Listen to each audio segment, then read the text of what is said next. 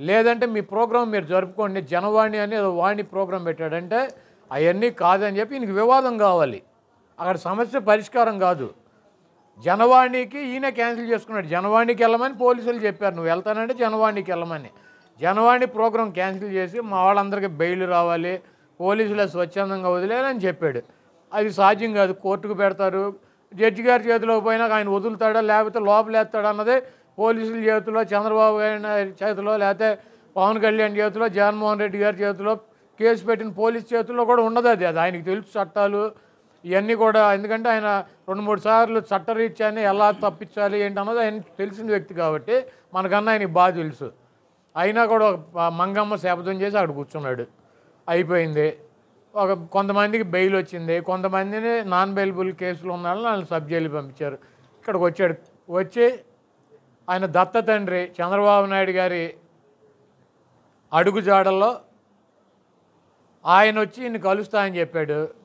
వీళ్ళిద్దరూ కలవడానికి నిర్ణయించుకొని ఆయన పార్టీ ఆఫీస్కి వెళ్ళి మళ్ళీ వీళ్ళిద్దరూ కలిసినాక జనరల్గా చెప్తారు కదా ఎందుకంటే మేము ఎప్పటి నుంచో చెబుతున్నాం పవన్ కళ్యాణ్ చంద్రబాబు నాయుడు అనేవాళ్ళు వేరు వేరు కాదు.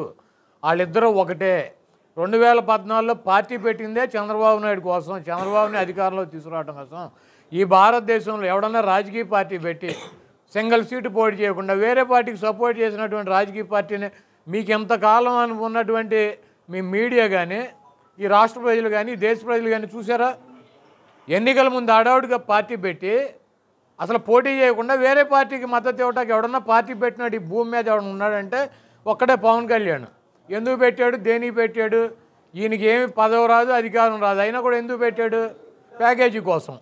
ఆ రోజే చెప్పాము మేము చంద్రబాబు కోసం పెట్టినటువంటి పార్టీ జనసేనని. మొన్న ఎన్నికల్లో రెండు వేల పంతొమ్మిది ఎన్నికల్లో చంద్రబాబుకు ఉన్నటువంటి వ్యతిరేక ఓటు చీల్చడానికి అంటే వ్యతిరేక ఓటు మాకు పడితే డైరెక్ట్గా మాకు ఓటింగ్ పర్సంటేజ్ పెరుగుద్ది కాబట్టి ఆ ఓటును చీల్చడానికి చంద్రబాబుని తిట్టి లోకేష్ని తిట్టి డ్రామాలు ఆడి బీజేపీని పాసిపోయిన లడ్డూలు అని చెప్పి తిట్టి ఈయన బయటకు వచ్చి ఎస్సీస్ జగన్మోహన్ రెడ్డి గారికి ఎక్కువ మద్దతు ఉంటుంది. కాబట్టి బీఎస్పీ దగ్గరికి వెళ్ళి ఆవిడ కాళ్ళు పట్టుకుని మాయావతి ఆవిడతో అలయన్స్ అంటే ఎస్సీస్ ఓటు చేల్చాలి కమ్యూనిస్ట్ పార్టీలు ఎందుకంటే వాళ్ళు ఉద్యమాలు చేస్తారు.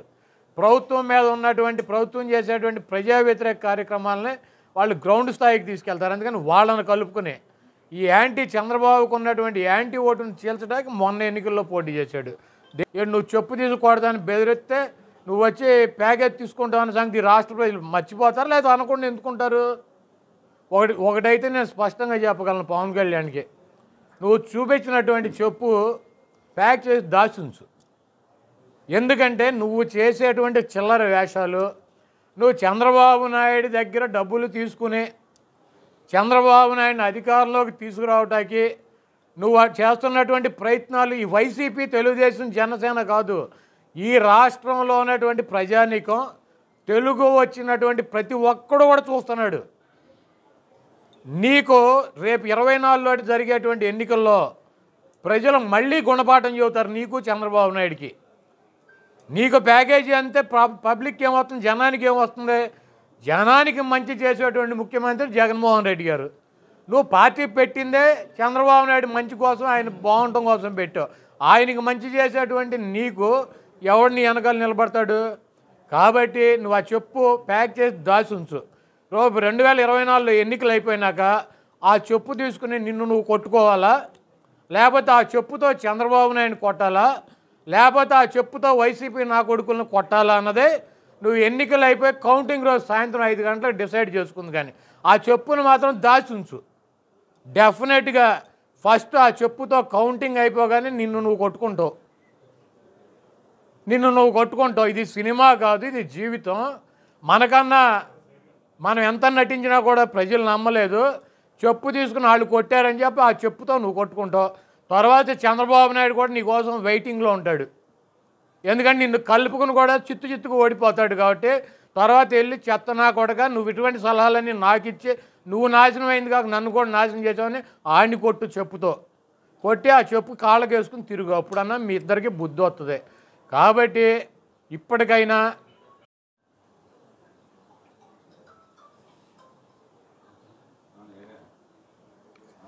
పీకే. పీకే అంటే ఎవరికి నచ్చిన పేర్లు వాళ్ళు పిలుచుకుంటున్నారు. మొన్న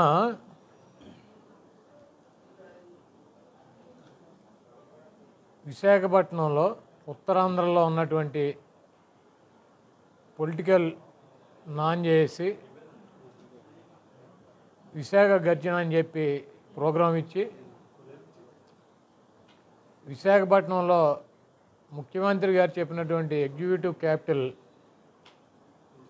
పెట్టాలన్నటువంటి వాళ్ళ ఆ ప్రాంత ప్రజల ఆకాంక్షనే తెలియజెప్పాలని చెప్పి ఈ జేఏసీ ప్రోగ్రాం ఇస్తే ఆ ప్రోగ్రాంకి వైసీపీకి సంబంధించినటువంటి శాసనసభ్యులు కానీ మంత్రులు కానీ మేమందరం కూడా వెళ్ళి ముఖ్యమంత్రి గారు మూడు క్యాపిటల్స్ పెట్టాలన్నటువంటి నిర్ణయం తీసుకున్నదే జగన్మోహన్ రెడ్డి గారు.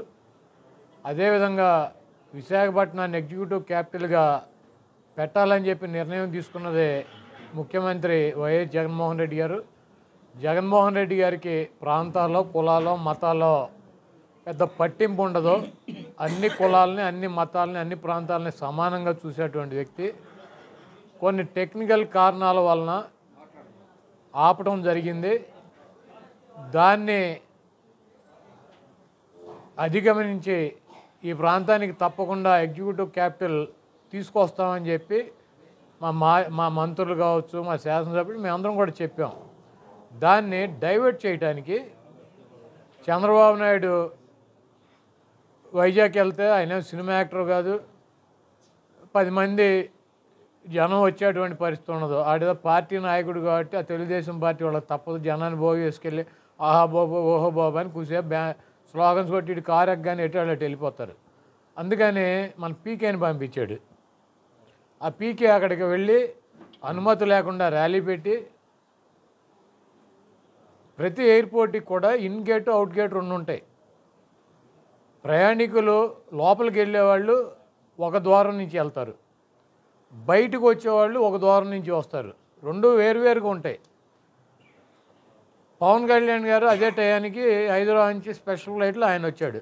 ఆయన్ని రిసీవ్ చేసుకోవడానికి పవన్ కళ్యాణ్ ఫ్యాన్స్ లేకపోతే జనసేన పార్టీ నాయకులు వెళ్ళాలంటే అవుట్ గేట్లోకి వెళ్ళి బయటకు వచ్చే ద్వారం దగ్గరికి ఆయన రిసీవ్ చేసుకుని బ్రహ్మాండమైన ఊరేగింపు పెట్టుకోవచ్చు. ఒకళ్ళ మీద ఒకళ్ళ దండలు వేసుకోవచ్చు పూలు చిమ్ముకోవచ్చు. వాళ్ళు ఏదైనా చేసుకోవచ్చు. వాళ్ళందరూ పవన్ కళ్యాణ్ గారు వచ్చే మార్గాన్ని వదిలేసి వైసీపీ గర్జన జరిగింది ఉదయం పూట. మంత్రులు కొంతమంది శాసనసభ్యులు వెళ్తారు. వాళ్ళ మీద దాడి చేయాలి. ఈ విశాఖ గర్జన డైవర్ట్ చేయాలని చెప్పి మొత్తం బలవంతంగా పోలీసులు చెప్పినా కూడా మీరు ఈ పక్కకు రావద్దని చెప్పి ఇటు పక్కకు వచ్చి మహిళా మంత్రులు రోజా కావచ్చు విడుదల రజనీ గారు కావచ్చు లేకపోతే బీసీ మంత్రి జోగి రమేష్ కావచ్చు లేకపోతే దళిత మంత్రి మేరుగు నాగార్జున గారు కావచ్చు ఇష్టమైనటువంటి మాటలతో వాళ్ళ చేతిలో ఉన్నటువంటి జెండా కర్రలతో ఈ కార్లకు వేసేటువంటి డిస్కులు ఉంటాయి. ఆ, ఇనపయ్యే కొంచెం షోక్ అని చెప్పేస్తారు. వాటిని పీకి మా మంత్రుల మీద దాడి చేసి మంత్రుల్ని బీభత్సంగా బూతులు తిట్టి అక్కడ ఒక భయానకమైనటువంటి వాతావరణం సృష్టించి వెళ్ళిపోయారు. మా మంత్రులు అక్కడ ఉన్నటువంటి పోలీసు వాళ్ళందరినీ కూడా కొద్దిగా పాపం పోలీసులకు కూడా దెబ్బలు తగిలిన వాడు కాపాడి తీసుకొచ్చి ఫ్లైట్ ఎక్కించి పంపించేశారు. తర్వాత విచ్చలవిడిగా ఆయనకి పర్మిషన్ లేకుండా కూడా రాత్రి పదిన్నర వరకు నాలుగున్నర ఐదు గంటలు బ్రహ్మాండంగా ఆయన ఊరేగింపు పెట్టుకున్నాడు వైజాగ్ సిటీలో. మీరు ఎక్కడైనా చూసుకోండి ఒక మహానగరంలో ట్రాఫిక్ సమస్యలు ఉంటాయి మన ముందు ఏమన్నా ర్యాలీలు పెట్టాలన్నా ఊరేగింపులు పెట్టాలన్నా పర్మిషన్ తీసుకోవాలి. పోలీసులు ఆ రూటుని బ్లాక్ చేసి డైవర్షన్ ఇచ్చి అక్కడ ఉన్నటువంటి ఈ ప్రయాణం చేసేటువంటి వాళ్ళకి ఇబ్బంది లేకుండా ప్రయా ఆ ఆ సిటీ వ్యక్తులకు ఇబ్బంది లేకుండా చేస్తారు. ఆ ఏమీ లేకుండా ఆయన ఇష్టమైనట్టు ఊరేగాడు ఐదున్నర గంటల పాటు. ఊరేగి ఎవరైతే కొట్టి ఎవరైతే దుర్భాషలాడారో వాళ్ళ మీద కేసులు కడితే పవన్ కళ్యాణ్ గారు ఒక ట్వీట్ పెట్టాడు. ఏమని? నేను పోలీస్ స్టేషన్కి వస్తానని చెప్పి. దానికి మళ్ళీ ఈయన పోలీస్ స్టేషన్కి వచ్చి అక్కడ న్యూసెన్స్ చేస్తాడని చెప్పి పోలీసులు ఇక్కడికి వచ్చి మీరు ఈ హోటల్లోంచి కదలటానికి వీల్లేదు మీరు కావాలంటే వెళ్ళిపోండి ఇక్కడి నుంచి లేదంటే మీ ప్రోగ్రాం మీరు జరుపుకోండి జనవాణి అని ఏదో వాణి ప్రోగ్రాం పెట్టాడంటే అవన్నీ కాదని చెప్పి ఈయనకి వివాదం కావాలి. అక్కడ సమస్య పరిష్కారం కాదు. జనవాణికి ఈయన క్యాన్సిల్ చేసుకున్నాడు. జనవాణికి వెళ్ళమని పోలీసులు చెప్పారు. నువ్వు వెళ్తానంటే జనవాణికి వెళ్ళమని. జనవాణి ప్రోగ్రాం క్యాన్సిల్ చేసి మా వాళ్ళందరికీ బెయిల్ రావాలి. పోలీసులు స్వచ్ఛందంగా వదిలేనని చెప్పాడు. అది సాధ్యం కాదు. కోర్టుకు పెడతారు. జడ్జి గారి చేతిలో పోయినా ఆయన వదులుతాడా? లేకపోతే లోపలేస్తాడా అన్నదే పోలీసుల చేతిలో చంద్రబాబు గారి చేతిలో లేకపోతే పవన్ కళ్యాణ్ చేతిలో జగన్మోహన్ రెడ్డి గారి చేతిలో కేసు పెట్టిన పోలీస్ చేతుల్లో కూడా ఉండదు అది. అది ఆయనకి తెలుసు చట్టాలు. ఇవన్నీ కూడా ఎందుకంటే ఆయన రెండు మూడు సార్లు చట్టరీ లొకేషన్ తొక్కేస్తా టీడీపీని తొక్కేస్తా అలాంటి పార్టీతోనే మళ్ళీ పొత్తుకు రావడం మీరు ఎలా నేను అదే చెప్పేది గతంలో పవన్ కళ్యాణ్ గారి తల్లిని దూషించారని చెప్పి పవన్ కళ్యాణ్ గారే ట్వీట్ పెట్టాడు. ఏమని? లోకేష్ పది కోట్ల రూపాయలు ఖర్చు పెట్టాడు నా తల్లిని తిట్టించడానికి. దీన్ని ABN TV five TV nine ఇంకా రెండు మూడు ఛానల్స్ పేర్లు చెప్పి డిబేట్లు పెట్టి నా తల్లి గురించి డిబేట్లు పెట్టారు. ఒక్కొక్క నా కొడుకుని వదిలిపెట్టను. మిమ్మల్ని నాశనం చేస్తా మిమ్మల్ని అట్టా చేస్తా మిమ్మల్ని ఇట్టా చేస్తానని చెప్పి ప్రగల్భాలు పలికాడు. దేనికోసం పలికాడు? అంటే చంద్రబాబు నాయుడికి వ్యతిరేకం జగన్మోహన్ రెడ్డి కాదు నేను. కాబట్టి చంద్రబాబును వ్యతిరేకించే ఓటు నాకేయండి జగన్మోహన్ రెడ్డికి వేయొద్దు అని చెప్పి చంద్రబాబు వ్యతిరేక ఓటుని ఒకటై జగన్మోహన్ రెడ్డి గారికి రాకుండా తల్లిని అడ్డం పెట్టుకుని రాజకీయం చేసినటువంటి దుర్మార్గుడు పవన్ కళ్యాణ్ ఆ రోజు. ఈరోజు ప్యాకేజీ తీసుకుని నా తల్లిని తిట్టాడు లోకేష్. నా తల్లిని దూషించారు ఏబిఎన్ నా తల్లిని దూషించారు టీవీ ఫైవ్ నా తల్లిని తిట్టారు టీవీ నైన్ అని చెప్పి తిట్టినటువంటి ఈ పవన్ కళ్యాణ్. ఈరోజు సిగ్గు లేకుండా తల్లిని తిడితే తిట్టారు నాకు ప్యాకేజీ ఇచ్చారు కదా. నేను చంద్రబాబు కోసమే కదా పార్టీ పెట్టింది. చంద్రబాబుని అధికారంలో ఉంచడమే కదా నా పార్టీ లక్ష్యం. కాబట్టి నా తల్లిని తిట్టినా తిట్టకపోయినా నేను అవసరమైతే తిట్టారని చెబుతా. నిజంగా తిట్టినా కూడా నేను పెద్ద పట్టించుకోను. కాబట్టి ఇప్పుడు మళ్ళీ చంద్రబాబుకి నేను మద్దతు ఇస్తున్నాను. ఈ రాష్ట్రంలో ఏదో అంటే ప్రజాస్వామ్యం పోయింది. కాబట్టి రాజకీయ పార్టీలు అన్నీ కలిసి ఉండాలి. ఓటు చీలిపోకూడదు. అందరం కలిసి పోటీ చేసి మళ్ళీ చంద్రబాబుని ముఖ్యమంత్రిని చేయాలని చెప్పి సిగ్గు లేకుండా చెబుతున్నాడు. అంటే ఈ రాష్ట్ర ప్రజలు ఒకటే గమనించుకోవాలి. ఈ రాష్ట్ర ప్రజలు ఒకటే గమనించుకోవాలి. ఆయన చంద్రబాబుకి వ్యతిరేక ఓటు చీల్చాలంటే ఆయన తల్లిని తీసుకొచ్చి వాళ్ళు తిట్టారని అడ్డం పెడతాడు. చంద్రబాబును ముఖ్యమంత్రిని చేయాలి ఓటు చీలకుండా అందరూ ఆయనకి వేయాలంటే ఆయన తల్లిని తిట్టినా కూడా తీసుకెళ్ళి ఆయనతో అలయన్స్ పెట్టుకుంటాడు. మరి ఇదేమి జన్మో ఏందో? మరి పవన్ కళ్యాణ్ దేనికి పుట్టాడో దేనికి పెరుగుతున్నాడో దేనికోసం ఇవన్నీ చేస్తున్నాడో ఆయనకి అర్థం అవ్వాలి. మేమైతే ఈ రాష్ట్ర ప్రజలు కానీ మేము కానీ అయితే కనుక పవన్ కళ్యాణ్ ప్యాకేజీ కోసమే చేస్తున్నాడని చెప్పి అనుకుంటున్నాం. నేను ప్యాకేజీ కోసం చేయట్లేదు నేను దేనికోసం చేస్తున్నాను. నువ్వు మరి దేనికోసం చేస్తావు స్పష్టంగా నీ తల్లిని తిట్టినప్పుడు తిట్టింది వాస్తవమా? నువ్వు చెప్పింది వాస్తవం అయితే ఇప్పుడు ఎందుకు కలిసావు? సమాధానం చెప్పాలి. లేదు అంటే నువ్వు ప్యాకేజ్ కళ్యాణమే అంటారు ప్యాకేజ్ స్టార్వి అంటారు. కాబట్టి దీనికి నువ్వు నువ్వు చేసేటువంటి నడక నువ్వు వెళ్ళేటువంటి దారి నిన్ను ప్యాకేజ్ స్టారు లేకపోతే ప్యాకేజ్ కోసం పవన్ కళ్యాణ్ చేస్తున్నాడు ఇవన్నీ అన్నటువంటి ముద్ర నీ మీద పడింది. దాన్ని చెరిపేసుకోవాల్సినటువంటి బాధ్యత నీ మీద ఉంది. అంతేగాని చెప్పు తీసుకొడతా తోలు తీస్తా గొంతు పిసికేస్తా కింద పిసుకుతా పైన పిసుకుతా అంటే ఇట్లాంటి బ్రహ్మానందం సినిమాలు చాలా చూసాం పవన్ కళ్యాణ్ అనేటువంటి వ్యక్తి ప్యాకేజీ కోసం తెలుగుదేశం పార్టీ కోసం చంద్రబాబు నాయుడుకి ఊడికం చేయటం కోసం చంద్రబాబు నాయుడుకి ఇబ్బంది వచ్చినప్పుడు బయటకు వచ్చి మాట్లాడటం కోసం చంద్రబాబు నాయుడిని రక్షించడం కోసం జనసేన పార్టీ పెట్టాడని చెప్పి జనసేన ఉద్దేశం లక్ష్యం గమ్యం అన్నీ కూడా కాపులు కాదు కులాలు కాదు మతాలు కాదు ఆయన చెప్పినటువంటి సామాజిక సమీకరణలు కాదు. ఒకే ఒక లక్ష్యం జనసేన లక్ష్యం. చంద్రబాబుని అధికారంలోకి తీసుకురావటం. జగన్మోహన్ రెడ్డి గారిని ఇంటికి పంపటం. వైఎస్ఆర్ కాంగ్రెస్ పార్టీ వైఎస్ఆర్ అనే పేరు లేనటువంటి రాష్ట్రాన్ని తీసుకురావటమే పవన్ కళ్యాణ్ లక్ష్యం అంట వంద జన్మలు ఎత్తాలి పవన్ కళ్యాణ్. వంద పవన్ కళ్యాణ్లు వచ్చినా కూడా అది సాధ్యం కాదు. వంద పవన్ కళ్యాణ్లు వచ్చినా సాధ్యం కాదు. జగన్మోహన్ రెడ్డి గారి లక్ష్యం నూట డెబ్బై స్థానాలు గెలవటం. జగన్మోహన్ రెడ్డి గారి లక్ష్యం దేవుడు దయ. జగన్మోహన్ రెడ్డి గారి లక్ష్యం ఈ రాష్ట్రం ఉన్నటువంటి ప్రజలకి ప్రతి కుటుంబానికి ఆర్థికంగా సహాయం చేయాలి ఈ రాష్ట్ర అభివృద్ధికి పాటుపడాలని చెప్పి. ఈ రాష్ట్ర ప్రజలు ఆలోచించాల్సింది ఒకటే. పవన్ కళ్యాణ్ ఏం చెప్పాడు చంద్రబాబు నాయుడు ఏం చెప్పాడు జగన్ ఏం చెప్పాడు కొడల నాని ఏం చెప్పాడు ఎవడేం చెప్పాడు అన్నది కాదు. మీ కుటుంబాలకి మీ పిల్లల చదువులకో మీకు ఆరోగ్య సమస్యలో మీకు ఇంటి సమస్య మీకు ఏ రకమైనటువంటి ఇబ్బంది ఉన్నా కూడా దాన్ని తన కష్టంగా తీసుకునే మీకోసం మీ పిల్లల కోసం ఈ రాష్ట్ర భవిష్యత్తు కోసం పనిచేస్తున్నటువంటి ముఖ్యమంత్రి జగన్మోహన్ రెడ్డి గారా చంద్రబాబు నాయుడు? అధికారం కోసం అడ్డమైన వాళ్ళ బూటులు నాకే వ్యక్తి ఎవడు?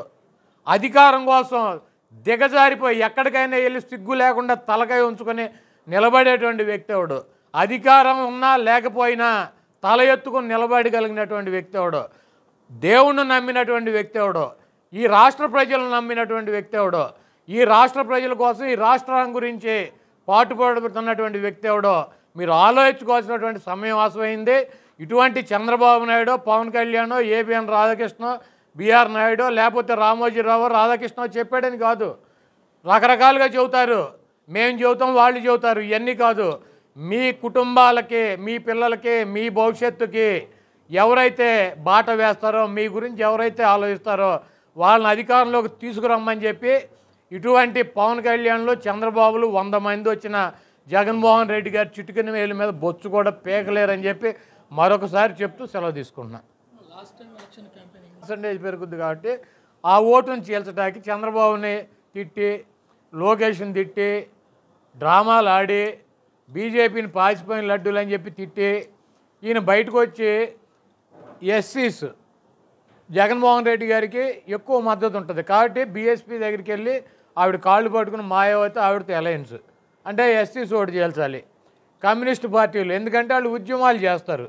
ప్రభుత్వం మీద ఉన్నటువంటి ప్రభుత్వం చేసేటువంటి ప్రజా వ్యతిరేక కార్యక్రమాలని వాళ్ళు గ్రౌండ్ స్థాయికి తీసుకెళ్తారు. అందుకని వాళ్ళని కలుపుకునే ఈ యాంటీ చంద్రబాబుకు ఉన్నటువంటి యాంటీ ఓటును చీల్చడానికి మొన్న ఎన్నికల్లో పోటీ చేశాడు. దేనికోసం చేశాడండి? అధికారం కోసం చేశాడా? ఎమ్మెల్యేలను గెలిపించుకోవటం చేశాడు. దేనికోసం చేశాడు? ప్యాకేజీ కోసం కాదా? మళ్ళీ ఆ ఎన్నికలు అయిపోయినామంటే పాసిపోయిన లడ్డూలు గిడ్డలు అన్నీ తీసి బీజేపీతో కలిశాడు. కలిసి బీజేపీ వాళ్ళని కూడా మాకు నాకు రోడ్డు మ్యాప్ ఇవ్వండి. చంద్రబాబు నేను మీరు కలిసి పోటీ చేద్దాము. జగన్మోహన్ రెడ్డిని ఓడించాలి. ఇది ఒకటే జయం అని చెప్పి ప్రతి వాళ్ళకి ఆ రోజు నుంచి వస్తుంటే ఆ రోజు నుంచి కూడా ఈయన ప్యాకేజీ కళ్యాణ్ ఈయన డబ్బు కోసమే రాజకీయ పార్టీ పెట్టాడు. కాల్ షీట్లో ఆ, సినిమా ప్రొడ్యూసర్లకు ఇచ్చినట్టు రాజకీయ నాయకులు కూడా ఇస్తున్నాడు. కాబట్టి చంద్రబాబు నాయుడు అధికారంలోకి తీసుకురావడమే జయంగా పనిచేస్తున్నాడు అని చెప్పి మేము చెబుతున్నాం వీళ్ళు చంద్రబాబును కలవాలి వైస్రాయ్ హోటల్కి వైస్రాయ్ హోటల్ అంటే రామారావుని దించడానికి ఇప్పుడు చ నోవాటెల్ హోటల్కి చంద్రబాబు నాయుడు వస్తున్నాడని ఆయనకి తెలుసు. మూడు గంటల నలభై నిమిషాలకు చంద్రబాబు నాయుడు గారు వస్తున్నాడు ఆయన స్పెషల్ ఫ్లైట్లో బయలుదేరాడని తెలుసు. ఈయన అడావిడి అడావిడిగా తాడేపల్లి ఆఫీస్కి వెళ్ళి ఆ జనసేన చిన్న చిన్న వాళ్ళందరినీ కూర్చోబెట్టి కార్యకర్తలు ఈయన ఒక పెద్ద ఉపన్యాసం చెప్పు ఒకటి చూపించి ఎవడన్నా ప్యాకేజీ వెళ్ళానంటే చెప్పుతో కొడతా నా కొడకలారా వైసీపీ నా కొడకలారా? అని ఆయన ఇష్టం. యా ఏ టు జెడ్ వైసీపీలో పైనుంచి కింద దాకా ఉన్న వాళ్ళందరినీ అమ్మ నా బూతులు తిట్టి చెప్పు చూపించి. నన్ను ఎవడో ప్యాకేజీకి కళ్యాణ్ అని వద్దంటే చాలా సీరియస్ చెప్పాడు. ఎవడన్నాడు ఆయన ప్యాకేజీకి కళ్యాణ్ ఆ రోజు కానీ ముందు రోజు కానీ ఆ ముందు రోజు కానీ ఎవడన్నా ఆయనకి తెలుసు.